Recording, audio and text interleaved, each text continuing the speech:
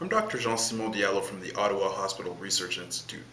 Vaccination is possibly the most effective way to keep the world population free of infectious diseases, so as long as a sufficient number of individuals are inoculated.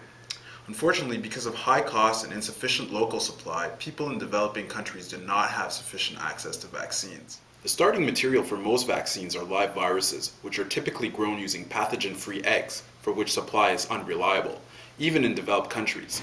The productivity of the 60-year-old method can vary tremendously and currently falls short of worldwide demands, particularly for diseases such as influenza. So how do we resolve this problem?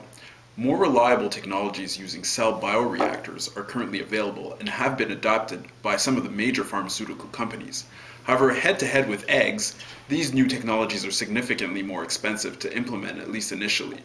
This makes their adoption by vaccine manufacturers established in developing countries particularly difficult. We recently made the discovery that some novel compounds could actually increase the replication of viruses in cells. As we found we could increase the production of viruses by over 1,000 times in some cases, we quickly came to the realization that these new viral sensitizer compounds could be very useful for manufacturing vaccines in cells. We have since found that we can apply this technology to cell-based manufacturing of influenza and other vaccines, although so far only at a very small scale. We now propose to demonstrate that we can make our technology work on a large scale.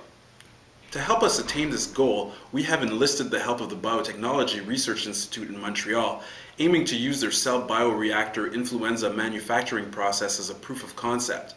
In addition to being experts in vaccine manufacturing, the Biotechnology Research Institute has established links with the World Health Organization and manufacturers in developing countries, potential partners with whom we hope to apply the technology directly.